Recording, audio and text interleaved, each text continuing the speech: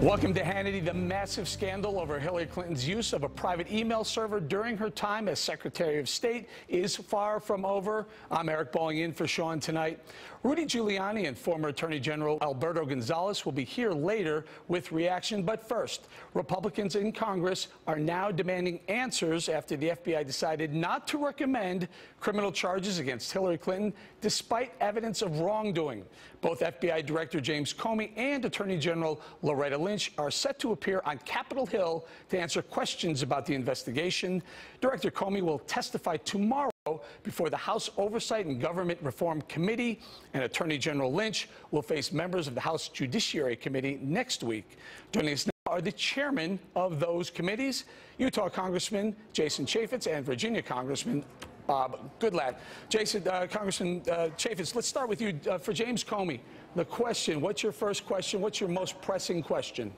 Oh, I'm not giving you away the first question yet, but it should be a good hearing. We, we want to understand the difference in his mind between gross negligence, which is in the statute, and extremely uh, careless. Uh, we have questions about his findings. Um, obviously, what Secretary Clinton said time and time again, both under oath, by the way, and in the public, uh, turned out to be not true. And so there was a lot of misleading information. We're just simply trying to expose and get to the truth. So, so Congressman, I'm sitting here thinking, what would I ask the, the, the, the FBI director? And the first thing I would say is if, if you laid out 10 or 15 minutes of why you should indict, and you decided not to indict, what would it have taken? What were you looking for that would have been the trigger to say, indict this woman?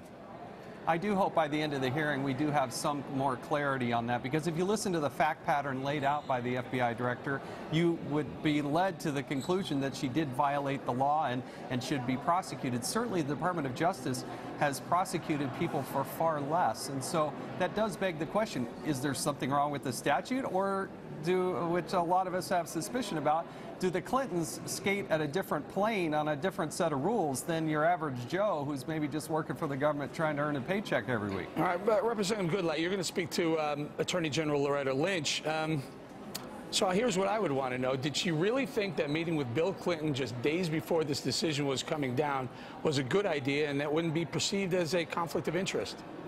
Well, we want to know the answer to that. We also want to know the answer to the questions that I posed to Director Comey yesterday, and we'll pose the same ones to Attorney General Lynch. And we've put those into a letter so he can uh, look at them. In fact, I asked him yesterday.